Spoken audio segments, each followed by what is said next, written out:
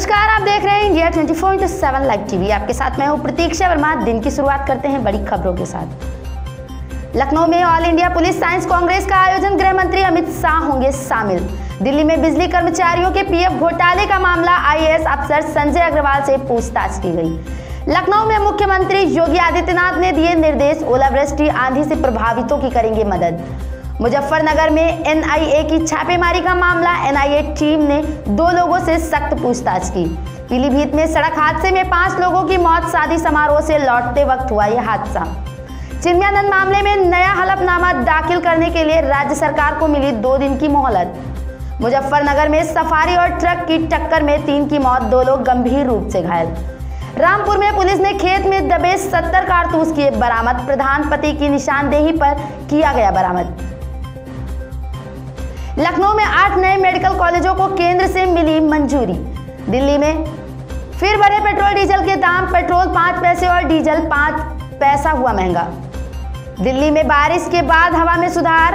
आज सुबह एक यू आई छप्पन दर्ज हुआ। महाराष्ट्र में उद्धव के सीएम बनते ही बदले शिवसेना के तेवर। प्रयागराज में यूपी राजश्री टंडन मुक्त विश्वविद्यालय का दीक्षांत समारोह। विश्वविद्यालय का चौदहवा दीक्षांत समारोह आज। शिवसेना ने कहा, सरकार को अस्थिर करने की कोशिश ना करें। बरेली में जासूसी के शक में नेपाली युवक गिरफ़्तार। आईबी की टीम ने युवक को किया अरेस्ट। आईबी की टीम। गाजियाबाद में पुलिस और बदमाशों के बीच मुठभेड़। विनोद के मर्डर में फरार आरोपी गिरफ़्तार। लखनऊ में गृह मंत्री अमित शाह का लखनऊ दौरा आज। पुलिस साइंस कांग्रेस कार्यक्रम में आएँगे शाह। राजधानी लखनऊ की हवा हुई फिर खराब। लखनऊ का एयर क्वालिटी इंडेक्स तीन सौ चौहत्तर पहुँचा। गाजियाबाद में बीजेपी नेताओं ने ईस्टर्न पेरीफेरल एक्सप्रेसवे पर टोल टैक्स का बैरियर तोड़कर निकाली गाड़ियाँ। बांदा में प्रधानमंत्री आवास योजना में जमकर घोटाला, छप्पन गाँवों के 200 आवास अभी अधूरे पड़े। बिजनौर में पंजाब पुलिस ने की घर में छापेमारी, प्रतिबंधित नशीले इंजेक्शन किया बरामद। नोएडा पुलिस का सुंदर भाटी गैंग में खौफ, सुंदर भाटी के भतीजे ने जमानत तोड़वाई।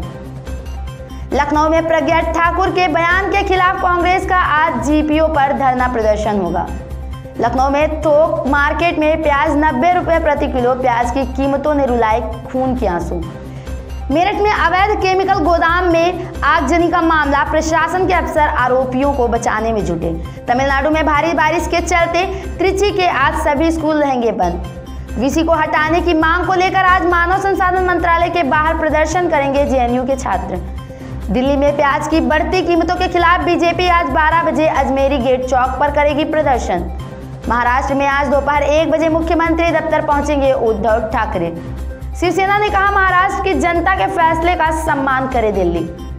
सामना में बीजेपी पर निशाना, भगवा ध्वज से दुश्मनी मोल मत लो, दुश्मनी करोगे तो खुद का ही नुकसान करोगे। सामना में बीजेपी, शिवसेना में अनबन, लेकिन पीएम मोदी और उद्धव ठाकरे भाई भाई सामना में ठाकरे सरकार सत्य और न्याय की सारी कसौटियों पर खरी उतर कर स्थिर रहेगी। तेलंगाना में सड़क परिवहन निगम के कर्मचारियों के लिए 100 करोड़ रुपए जारी।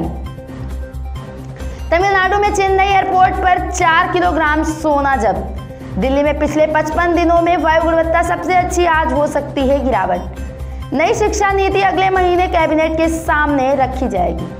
गृह मंत्रालय के मुताबिक सरकार ने उग्रवादी संगठन का उल्फा पर पाँच साल के लिए प्रतिबंध बढ़ा दिया। तमिलनाडु के कांचीपुरम, वेल्लोर और चेंगलपेट ज़िले में भारी बारिश के बाद की छुट्टी घोषित। सीएम उद्धव ठाकरे ने पहली कैबिनेट में रायगढ़ किले के लिए किया 20 करोड़ का ऐलान। हिमाचल प्रदेश और उत्तराखंड के कई जिलों में भीषण बर्फबारी। गांधी परिवार की एसपीजी सुरक्षा हटाए जाने के खिलाफ राजस्थान में कल मार्च निकालेगी कांग्रेस। गिरिराज ने कहा, अब राम का नाम लेने के लिए 10 जनपद पर नाक रगड़ेंगे शिव सैनिक उपचुनाव रिज़ल्ट के बाद टीएमसी कार्यकर्ताओं ने बीजेपी दफ्तरों पर लगाया अपना झंडा।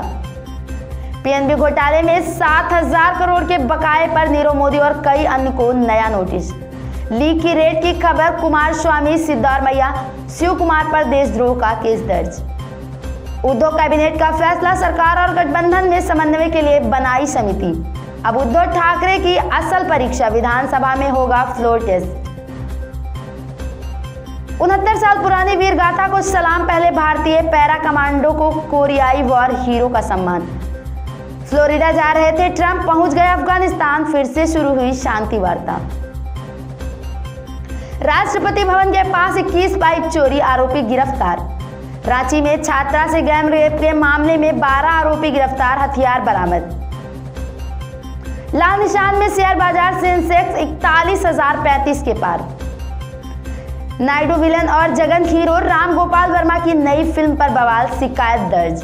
पानीपत पर नहीं थम रहा विवाद डायलॉग को लेकर निर्माताओं को नोटिस टीवी एक्टर बोले इलेक्ट्रिक शॉक से हो सकती थी मेरी मौत, शिकायत दर्ज। बॉलीवुड के लिए संकट मोचक साबित हुई शिवसेना, सलमान से रहे विवाद। तो ये थी इस वक्त की कुछ बड़ी खबरें। आगे की तमाम बड़ी खबरों के लिए जुड़े रहिए और देखते रहिए India twenty four into seven live TV नमस्कार।